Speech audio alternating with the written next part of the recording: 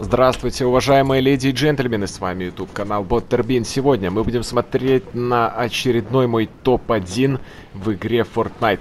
Лучшим из 100 на этот раз становится уважаемый марвеловский доблестный персонаж Человек-паук. В черном стильном костюме с позолотой он будет брать у нас сегодня топ-1. И я покажу вам все ключевые моменты этого топа. Итак, Поехали!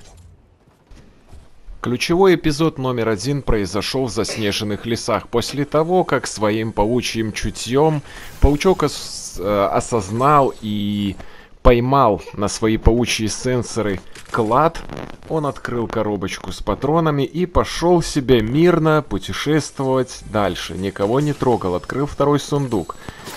Тут начал ощущать выстрелы в сторону себя. Точнее, не ощущать, а слышать.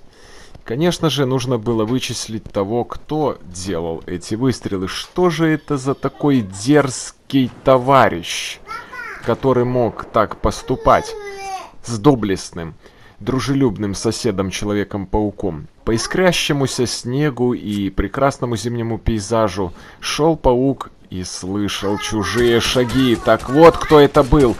Вот эта дерзкая личность, которая смелилась стрелять Человека-паука. Но, судя по всему, этот игрок даже не понял, откуда сыпались выстрелы в его сторону, поэтому разобраться было с ним проще пареной репы. Дальше человек выпивает прыскучий нектар, усиливает щиты и переходит к следующему эпизоду. Погнали. Холодное время в этом топе затянулось, и непривычное для человека-паука ледяная пустыня не кончалась.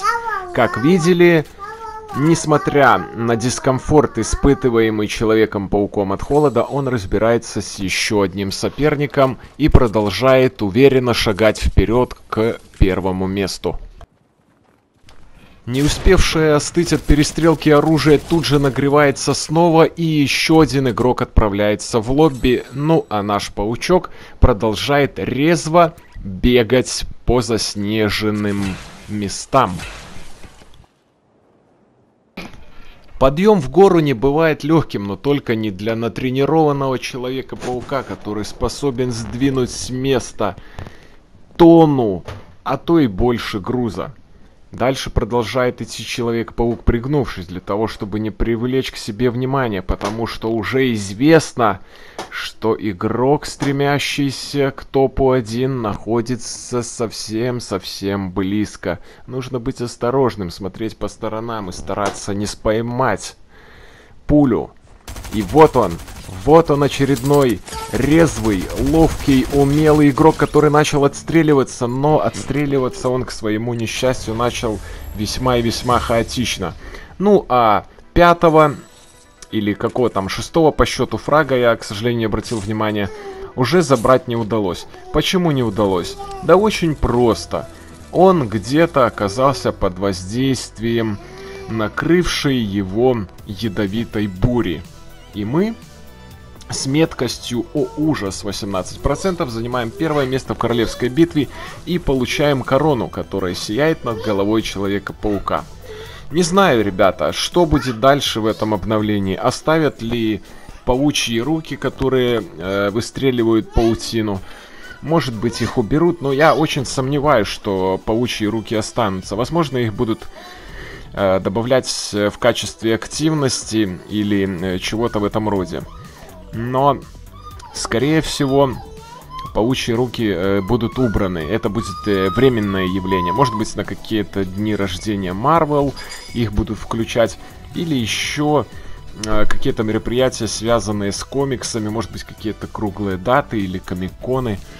А еще, э, мне кажется, что будут включать не только Человека-паука из вселенной Marvel или Бэтмена из вселенной DC, но еще включат и кого-то вроде Росомахи, Гамбита или еще что-то в этом роде, потому что разработчики Fortnite, если уже пошли платить и э, зарабатывать на этих интеграциях, я думаю, что продолжат это делать и дальше. Ну, а сейчас я хочу показать вам небольшой бонус, который выиграл э, мой сын. Бонус этот очень интересный, а самое главное редкий. Как вы знаете, в новогоднем обновлении добавлена такая вот интересная активность, где псевдо-дедушка Мороз сидит и раздает подарки. Выбирает мой сын обычный невзрачный подарок, начинает его трясти в мешке. Тут торчат какие-то бумаги в этом мешке. И я не думал, что в невзрачной упаковке будет такая интересная штука которая называется у нас Страж.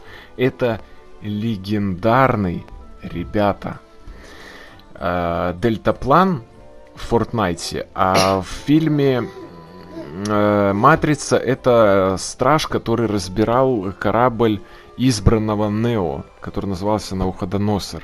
И фанаты фильма Матрица без труда узнают эту корявую крокозябру, он же осьминог, он же Паук, который пытался уничтожить судно, на котором путешествовал Нео, спасший всех. Вот такой вот э, интересный легендарный подарок попался нам в обычном мешке, ребята. Вот так он выглядит, легендарный дельтаплан. К сожалению, не успел прочитать подпись, которая была там, но очень был э, удивлен, приятно удивлен тем, что в обычном подарке в мешочке оказался такой вот легендарный, интересный дельтаплан, на котором можно перемещаться.